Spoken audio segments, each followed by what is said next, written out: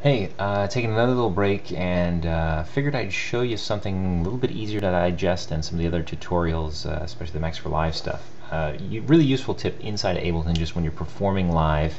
Um, there was a, a, a, performance I did last year and I had this, what I thought was a really great little loop that I, I wanted to use and you know used it quite a bit and kind of overused it because I just you know got so in, involved in other stuff going on I kind of just lost focus on that clip and it just played and played and played and played. And in retrospect and seeing video afterwards, I was like, oh God, you know, I, can't believe I let it play that long. So um, just occurred to me today, an obvious way to, to, to, fix that or make sure that doesn't happen again is uh, through the use of uh, uh, follow-on actions with clips. If you've never used follow-on actions before, it's really, really useful. So let me show you something, you know, real quick example here. Like say I have this, this thing going on.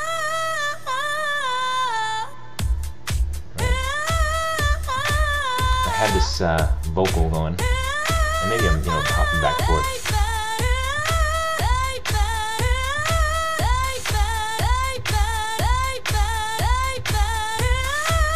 Now I, I let that one play,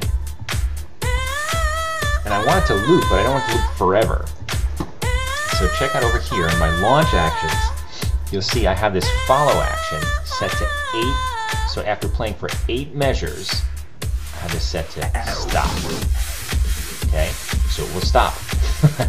this way, uh, you know, I can loop it some bunch of times. I don't have to like copy out a bunch, you know, uh, forever and ever. But uh, it knows how to stop. And the same thing with this clip as well. If you look over here, I have it uh, stopping after four bars. And now listen to this. Okay. I also might want to do something, say, okay, after four bars,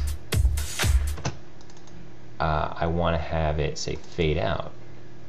Now you'll notice that normally what's going to happen is uh, if I have this here and I change say something way out here in the, the fourth measure the problem is I you know the, the, the, envelope and the clip are normally linked together so if I trigger it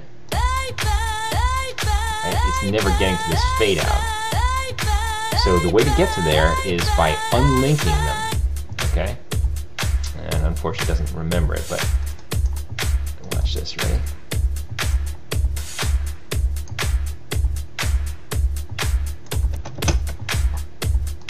See how this one cruises past? It fades out. still a loop, something uh, different here. Fade out a little longer. Shift it around maybe.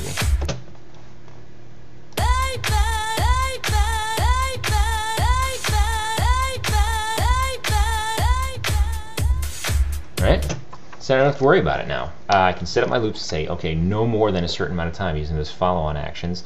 And then I can use the, uh, the unlinked envelopes in order to like you know, fade things out or add some interest in these otherwise shorter loops.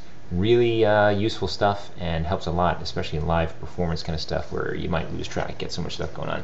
All right, so that's uh, the short tip of the day. And uh, tune in tomorrow. Maybe have another tip. Uh, uh, I'll try to do them at least, you know, every couple of days. And uh, take care and enjoy.